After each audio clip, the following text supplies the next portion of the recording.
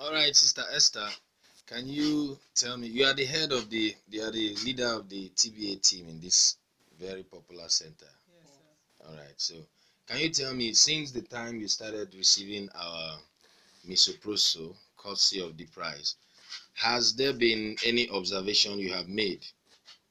Yes, there are many observations. So since I started using it, I, there, I, I don't even run into trouble again.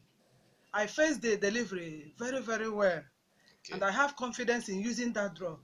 No more bleeding, no more fears. Because if I had it, I will face the delivery as I could do. And it was so perfect and effective to me. It dilates the cervix, it contracts the cervix very, very well, making it so tight so that there will be no drop of blood. I'm so happy. I'm so happy. I'm so grateful for the uh, Safe Passage Initiative Institution and the training we had. It was so good. I love it. I thank the organization so much for bringing me that misoprostol for the delivery of my women. No more transfer to hospitals or emergencies like that. I'm so happy. Thank you so much. We are so happy to hear that. And uh, Amadi, can you say the same? Nne m ukwu ekwutere n'olu bekee a na-ekwu n'olu Igbo Okay, okay. I'll, I'll interpret. Uh, yeah. onwebe onwebe ọ daghị asọ ọbara gbagburu nwaanyị. Achọghị ihe unu na onwe unu ji wepụta ya ka akwụsị ihe mbịa ọbara ebe nwaanyị na-amụ nwa.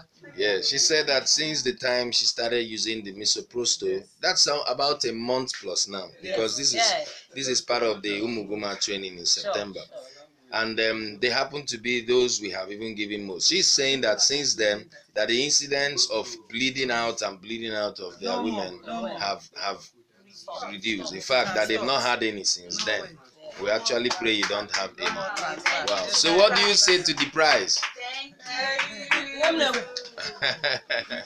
We yeah, say, yeah. we say thank you to the institution, the organization that introduced this thing to us. We are now happy and have confidence that we are safe.